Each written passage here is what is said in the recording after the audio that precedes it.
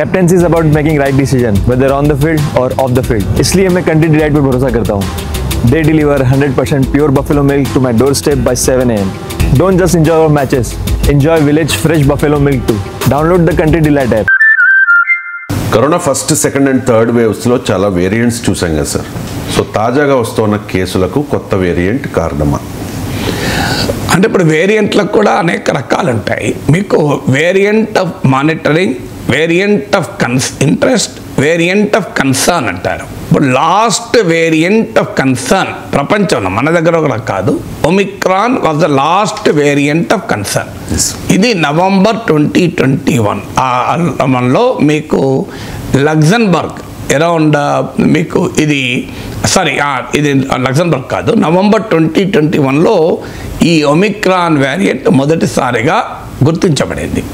So అప్పటి నుంచి ఆ తర్వాత అంటే ఒమిక్రాన్ వేరియంట్ తర్వాత మీకు మరో వేరియంట్ ఆఫ్ కన్సర్న్ లేదు. ఈవెన్ టుడే ప్రపంచంలో ఎక్కడా కూడా లాస్ట్ వేరియంట్ ఆఫ్ కన్సర్న్ అంటే ఆందోళన చెందాల్సినటువంటి వేరియంట్లలో ఒమిక్రానే లాస్ట్ ఆ ఒమిక్రాన్కు కూడా ఆందోళన దేని కొరకు అంటే మీకు ఏ వైరస్కైనా రెండు లక్షణాలని మనం పరిశీలించాలి. ఒకటి వైరాలిటీ రెండవది సివియారిటీ.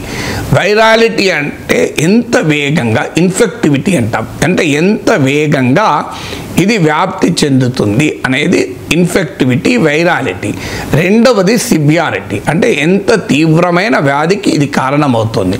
అంటే హాస్పిటల్లో అడ్మిట్ కావాల్సి వస్తుందా? ఇంట్లోనే ట్రీట్మెంట్తో సరిపోతుందా? సిమ్టమ్స్ మైల్డ్గా ఉంటున్నాయా? సివియర్గా ఉంటున్నాయా? హాస్పిటల్లో చేరితే ఆక్సిజన్ అవసరం వస్తుందా? ఐసీయూలో చేరాల్సి వస్తుందా? లేదా ఇది మరణాలకు కారణమవుతుందా? దీన్ని సివియారిటీ అంటారు. సో ఒమిక్రాన్కు ఉండే లక్షణం ఏంటంటే it is more viral in character more infectious in character more contagious in character అంటే చాలా వేగంగా వ్యాప్తి చెందుతుంది. కానీ ఇట్ ఈస్ నాట్ విరులెంట్ అంటే వైరాలిటీలో కూడా వ్యాధి తీవ్రకరం కాదు. అందుకే వైరాలిటీ అంటే కూడా మనకు రెండు రకాలుగా ఉంటుంది. ఇన్ఫెక్టివిటీ వైరాలిటీ ఉంటుంది. విరులెన్స్ అంటే సివియారిటీ వైరాలిటీ ఉంటుంది. సో వైరాలిటీలో కూడా కేవలం ఇన్ఫెక్టివిటీ మాత్రమే ఒమిక్రాన్ వేవ్ సబ్ వేరియంట్కు ఉంది. ఒమిక్రాన్ వేరియంట్కు ఉన్న లక్షణము ఇది చాలా వేగంగా వ్యాప్తి చెందుతుంది. కానీ తీవ్ర వ్యాధికి కారణము కాదు. ఇది మనకు అనుభవం ఒమిక్రాన్ పైన ఉండేటువంటి ఇప్పటి వరకు ఒమిక్రాన్ తర్వాత మళ్ళీ కొత్త రూపాంతరం రాలే. మనకు అర్థం కావాల్సింది అంటే వైరస్ అనేది నిరంతరం రూపాంతరాలు చెందుతూ ఉంటుంది. That is the character virus it constantly mutates జన్యుపరమైన మార్పులకు లోనవుతూ ఉంటుంది. కొత్త వేరియంట్లు ఆ వేరియంట్ల నుంచి సబ్ వేరియంట్లు ఆ సబ్ వేరియంట్ నుంచి సబ్ లీనియేజ్లు ఇలా పుట్టుకొస్తూనే ఉంటాయి. అందువల్ల మీకు వేరియంట్ ఆఫ్ కన్సర్న్గా చూసినప్పుడు Omicron family of sub variants sub variants ఉన్నాయి తప్ప కొత్త వ్యారియంట్ ఆఫ్ కన్సర్న్ లేదు. ఇక ఒమిక్రాన్లో కూడా JN dot one JN one అనే వ్యారియంట్ దీన్నే పిరోలా వేరియంట్ సబ్ వేరియంట్ అంటారు. సో ఈ వ్యారియంట్ ఆగస్టు ట్వంటీ ట్వంటీ త్రీలో మీకు లగ్జన్బర్గ్లో మొదటిసారి డిటెక్ట్ అయింది. నవంబర్ డిసెంబర్కి వచ్చే వరకు భారతదేశానికి కూడా ఈ JN one Pirola sub variant ఇండియాలో కూడా రిపోర్ట్ అయింది. సో అప్పటి నుంచి ఇప్పుడు వస్తున్న ఇప్పుడు భారతదేశంలోనే కాదు హాంకాంగ్ సింగపూర్ థాయిలాండ్ సౌత్ కొరియాలో కూడా వస్తున్న కేసుల్లో అత్యధికము జేఎన్ వన్ సబ్ వేరియంట్. అంటే ఉపరూపాంతరం జేఎన్ వన్ సబ్ వేరియంట్ నుంచే వస్తున్నాయి.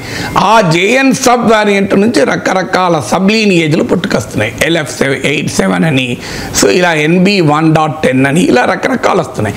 బట్ బేసికల్లీ ఇది జేఎన్ వన్ సబ్ వేరియంట్ ఇది కూడా మనకు కొత్తది కాదు. ఆగస్ట్ ట్వంటీ ట్వంటీ త్రీలో ఫస్ట్ టైం లెజన్బర్గ్లో రిపోర్ట్ అయి డిసెంబర్ నవ నవ- నాటికి భారతదేశంలో కూడా రిపోర్ట్ అయిన సబ్ వేరియంట్ అందువల్ల వన్ అండ్ హాఫ్ ఇయర్స్గా మనము ఈ జేఎన్ వన్ సబ్ వేరియంట్తో భారతదేశానికి అనుభవం ఉంది. ఇక ఇది జేఎన్ వన్ ఇట్ సెల్ఫ్ ఇది ఒమిక్రాన్ ఫ్యామిలీలో ఒక సబ్ వేరియంట్ ఈ ఒమిక్రాన్ ఫ్యామిలీలో ఉండే సబ్ వేరియంట్ కనుక ఇంతకుముందు చెప్పినట్లు నవంబర్ ట్వంటీ ట్వంటీ వన్ నుంచి ప్రపంచం ఒమిక్రాన్ చూసింది.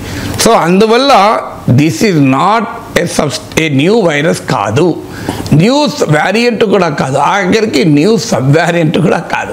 సో మనకు గత కొన్ని నెలలుగా ఏళ్ళుగా మనం అనుభవిస్తున్న సబ్ వ్యారియంట్ వ్యారియంటే అందువల్ల ఈ కేసుల సంఖ్య పెరగటానికి కొత్త వైరస్ కారణం కాదు కొత్త వైరస్లోని రూపాంతరము కారణం కాదు వ్యారియంట్ కారణం కాదు కొత్త వైరస్ సబ్ వ్యారియంట్ కూడా కారణం కాదు. మనకు తెలిసిన ఒమిక్రాన్ ఫ్యామిలీలోని జేఎన్ వన్ అనేటువంటి సబ్ వ్యారియంట్ వల్ల కేసులు పెరుగుతున్నాయి. ఈ ఒమిక్రాన్ ఫ్యామిలీ ఆఫ్ వైరసెస్కే నేను ఇంతకుముందు చెప్పినట్లు ఇన్ఫెక్టివిటీ ఎక్కువగా ఉంటుంది. చాలా వేగంగా వ్యాప్తి చెందుతుంది. కానీ వైరా మీకు విరులెన్స్ ఉండదు.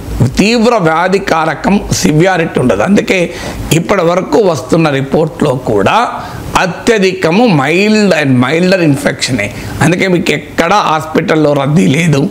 హాస్పిటలైజేషన్ లేదు.